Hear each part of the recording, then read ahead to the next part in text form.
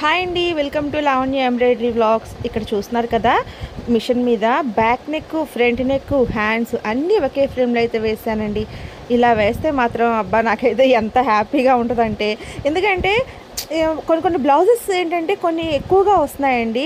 మనకి శారీలో వచ్చిన బ్లౌజ్ పీస్ ఇది. కొంచెం అంటే ఒక వన్ మీటర్ దాకా వస్తుంది. దానివల్ల ఏంటంటే మనం మార్కింగ్ వేసుకోవడానికి చాలా ఈజీగా ఉంటుందన్నమాట. అంటే back neck front neck hands. అది కూడా హ్యాండ్స్ ఇది షార్ట్ హ్యాండ్స్ కాబట్టి వీలైందిలేండి. అదే ఎల్బో హ్యాండ్స్ అయితే కష్టమయ్యేది ఇక్కడ చూడండి పీకాక్ డిజైన్ అయితే వేసాను దీనికి ఇంకా స్టోన్స్ అయితే యాడ్ చేయాలండి. వన్ సైడ్ పీకాక్ వచ్చి చాలా బాగుంటుంది అనమాట యాక్చువల్గా ఇది మా వదిన బ్లౌజ్ అండి. వాళ్ళు ఇద్దరు వదినలకి ఒకేలాంటి శారీస్ తీసుకున్నారు. అలాగే పీకాక్ డిజైన్స్ వేయించుకున్నారు. అనమాట ఇద్దరికి శారీస్ సేమ్ అండి. ఇదిగోండి. ఇద్దరు సిస్టర్స్ కదా సేమ్ కలర్ శారీస్ తీసుకున్నారనమాట. బ్లౌజెస్ కూడా సేమ్ వచ్చాయి. అయితే డిజైన్స్ మాత్రం డిఫరెంట్గా పీకాక్ డిజైన్స్ వేశాను. ఎలా ఉన్నాయండి?